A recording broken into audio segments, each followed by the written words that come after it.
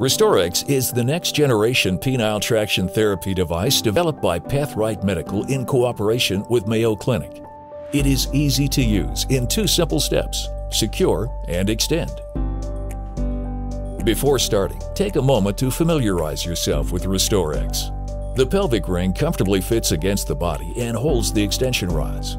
Later, you will learn how to select the correct length extension rod for your anatomy and how to place the rods on the pelvic ring.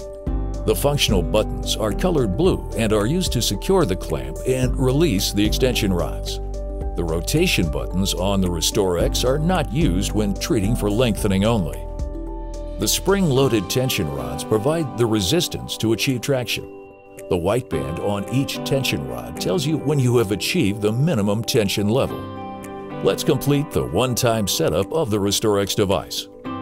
To do so, you need to obtain your stretched penile length in order to choose the appropriate extension rods. Ensure that the ruler measures the full length of your flaccid penis by pushing the end of the ruler into the fat pad located at the base of the penis. The RestoreX device comes with the standard rods assembled.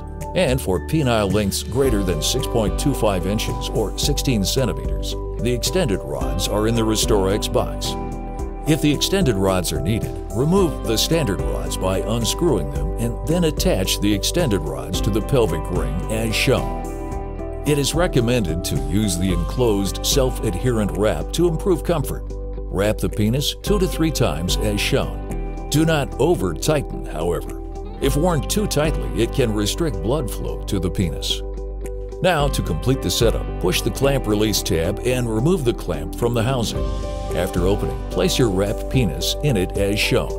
If you cannot close the clamp to the second click or with it closed, you do not believe you can comfortably wear it for 30 minutes, adjust the height as shown. Let's use RestoreX. Begin with RestoreX pulled all the way back toward the pelvic ring on both the extension rods and tension rods. Place your penis through the pelvic ring and onto the open clamp. Slowly and gently close the clamp. Continue to close until it's tight enough to be secure, but at the same time can be worn comfortably for 30 minutes. Second, as shown, pull RestoreX back on the tension rods to release the lock and then slowly and gently release the springs. Next, while holding the pelvic ring against your body with one hand, lengthen RestoreX by pushing it along the extension rods one notch at a time until the white bands on each tension rod can no longer be seen. Many men have found a second method of extending and adding tension to be easier, particularly those that have difficulty with the head of their penis slipping out of the clamp. First, advance the RestoreX device along the extension rods until the penis is nearly fully stretched. Next, slowly and carefully release the tension rods as shown. Most often, the white bands will not appear. If they do, Relock the tension rods, advance one more notch on the extension rods, and release the lock on the tension rods once again. Repeat until the white bands do not show. After a couple of minutes, tissue will begin to stretch and the treatment zone band may reappear. If so, advance one or more notches on the extension rod to stay in the traction zone.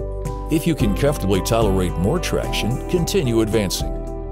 The following chart contains the recommended treatment times for RestoreX. Start slowly during the first week of use, working your way up to two 30-minute treatments per day.